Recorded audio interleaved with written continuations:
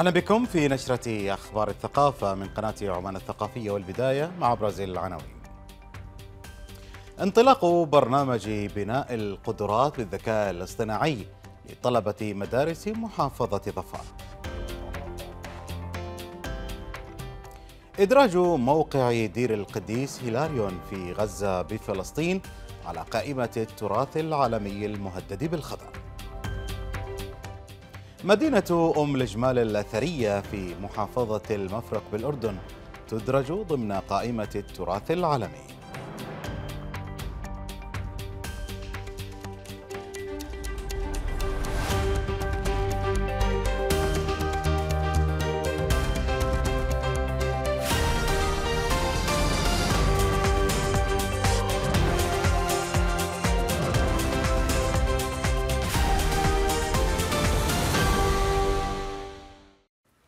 أهلا بكم إلى تفاصيل النشرة. لبناء جيل متخصص في تقنيات الثورة الصناعية الرابعة انطلق بمركز الابتكار والروبوت العلمي بولاية صلالة برنامج بناء القدرات بالذكاء الاصطناعي لطلبة مدارس محافظة ظفار والذي يهدف إلى أكسابهم معارف تطبيقية حول الروبوتات والطائرات بلا طيار والمدن الذكية. أربعة مسارات يمر بها 120 من طلبة مدارس محافظة ظفار خلال البرنامج العلمي بناء القدرات في مجال الذكاء الاصطناعي حيث ينطلق البرنامج بتعليم الطلبة مفاهيم البرمجة ثم التصميم فهندسة المشروع ثم التعلم الآلي. يتكون البرنامج من أربع مسارات هادفة المسار المهندسين الصغار ومسار الأتمتة الذكية ومسار التعلم الآلي للمدن الذكية بالإضافة إلى ريادة الأعمال في مجال الذكاء الاصطناعي. مما يسمح تلك المسارات بتدرج المعرفة لدى الطلاب بما يتناسب مع أعمارهم وكذلك لتأهيلهم في مجال صناعة الذكاء الاصطناعي وذلك من خلال تنفيذ تطبيقات عملية من خلال الروبوتات والمشا... الروبوتات والطائرات. بلا طيار والمشاريع الرؤية الحاسوبية للمدن الذكية وريادة الأعمال في مجال صناعة الذكاء الاصطناعي. ويتوسع البرنامج العلمي في مركز الابتكار والريبوت العلمي ليشمل تنمية مهارات العمل الجماعي والتواصل الفعال وحل المشكلات الفنية والتفكير الناقد لتطوير مشاريعهم. مسار التعلم الآلي والمدن الذكية مسار هادف آه نابع من رؤية عمان 2040 وتعلمت من هذا البرنامج التعلم الآلي باستخدام موقع Roboflow وتحميله على لوحة Raspberry Pi. ولبناء مشاريع تخدم المدن الذكية. هذا البرنامج الصيفي برنامج مفيد جدا خاصة مسار الأتمتة فتعلمت منه الكثير. فتعلمنا كيفية برمجة الدرون وروبوت ال EV3 وأيضا أساسيات الميكانيكا وذلك يساعدنا على التعامل مع عالم الذكاء الاصطناعي في المستقبل. تعلمت من مسار المهندسين الصغار كيفية صنع روبوتات بالليجو وتعلمت على الروبوت ال Matatalab وأيضا شريحة ال micro:bit. وفي مرحلته الأخيرة يهدف برنامج بناء القدرات في مجال الذكاء الاصطناعي إلى تأهيل الطلبة لريادة الأعمال في مجال التقنيات الحديثة ورفع وعي المبتكرين منهم في كيفية تسجيل الملكيات الفكرية لاختراعاتهم. حسين بن مسلم جعبوب ولاية صلالة محافظة ظفار اعتمدت لجنة التراث العالمي لليونسكو الموقع الأثري دير القديس هيلاريون في فلسطين المحتلة على لائحة التراث العالمي المهدد بالخطر ورحبت وزارة الخارجية والمغتربين في بيان لها باعتماد الموقع خلال الدورة السادسة والأربعين الموسعة للجنة المنعقدة في نيودلهي خلال الاجتماع الخاص باتفاقية التراث العالمي وحماية الممتلكات الثقافية في حالة النزاع المسلح اتفاقية لاهاي وضمن الالتزام باتفاقية حماية التراث العالمي الثقافي والطبيعي. وتقع أطلال دير القديس هيلاريون في بلدة نصيرات على بعد حوالي عشرة كيلومترات جنوب مدينة غزة وأضافت في بيانها أن للموقع أهميته التاريخية والدينية والمعمارية والثقافية خلال القرن الرابع الميلادي في بداية الفترة البيزنطية في فلسطين. وتواصل لجنة التراث العالمي اجتماعاتها التي تستمر حتى الحادي والثلاثين من يوليو الجاري في الهند. كما أعلنت منظمة الأمم المتحدة للتربية والعلوم والثقافة اليونسكو إدراج مدينة أم الجمال الأثرية في محافظة المفرق بالأردن ضمن قائمة التراث العالمي. لتنضم أم الجمال إلى ستة مواقع أردنية مدرجة في قائمة اليونسكو للتراث العالمي. وهي البتراء وقصير عمرة وأم الرصاص ووادي رم والمغطس والسلط. وتبعد مدينة أم الجمال 86 كيلومترا عن العاصمة عمان وتقع إلى الشرق من صحراء محافظة المفرق قرب الحدود السورية بمساحة إجمالية تصل إلى نحو خمسة كيلومترات مربعة.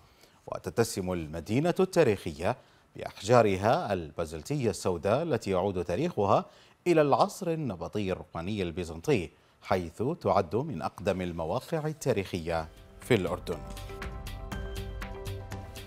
منظمة الأمم المتحدة للتربية والعلوم والثقافة اليونسكو تعلن عن إدراج تلال الدفن الملكية في مدينة تشاريديو الهندية موقعا جديدا للتراث العالمي. مزيد من التفاصيل نتابعها وإياكم بعد قليل.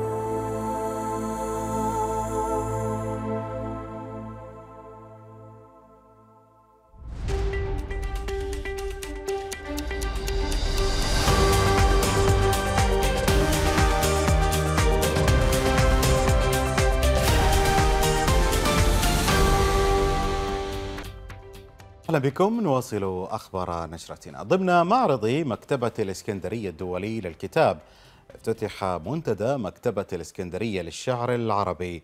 استضاف المنتدى عددا من الشعراء من مصر والدول العربية.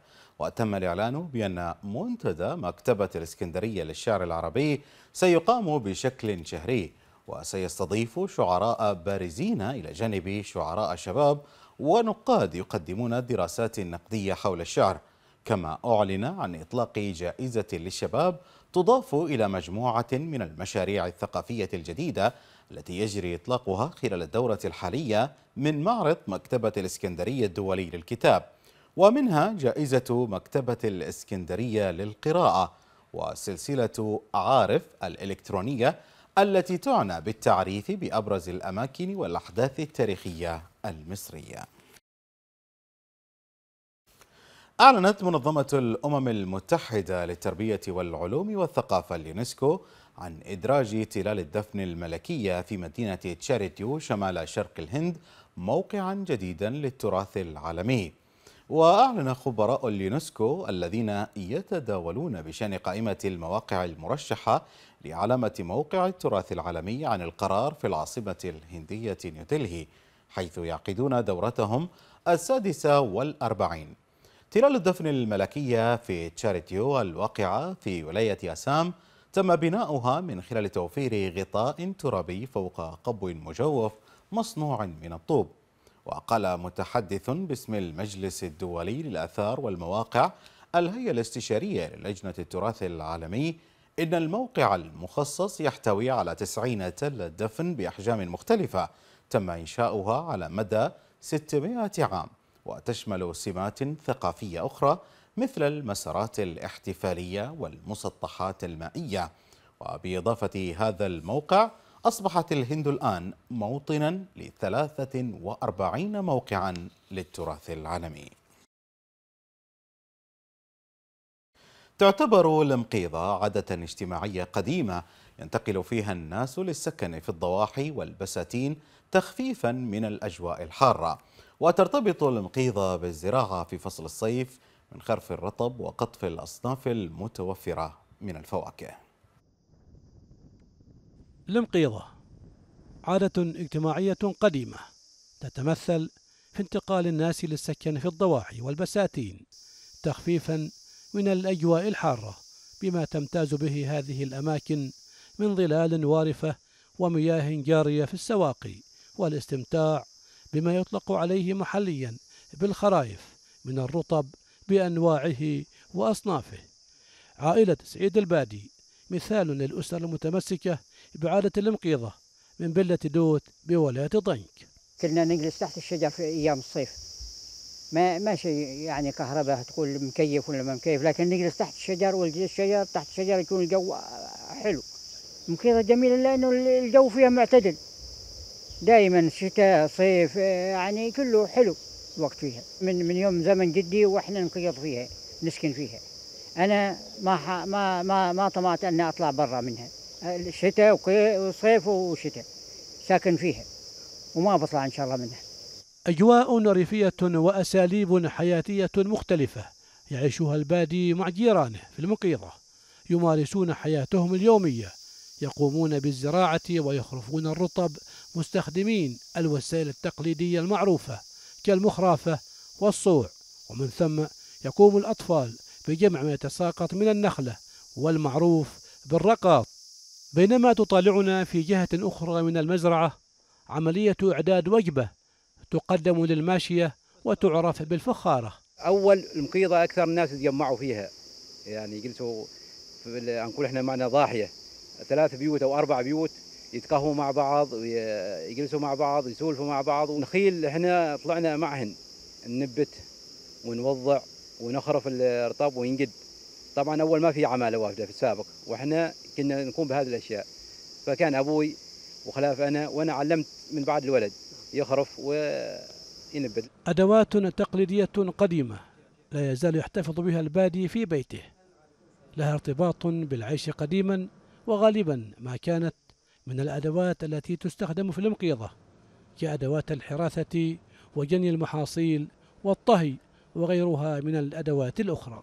ومع التوسع العمراني وبناء البيوت الحديثة إلا أن عادة المقيضة لا تزال راسخة في المجتمع تتمسك بها الكثير من الأسر في القرى والبلدات. محمد بن سعيد العلوي محافظة الظاهرة.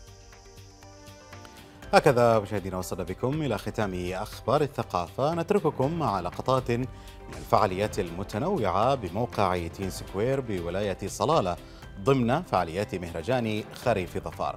نشكر لكم متابعتكم وتقبلوا تحيات فريق العمل. في أمان الله.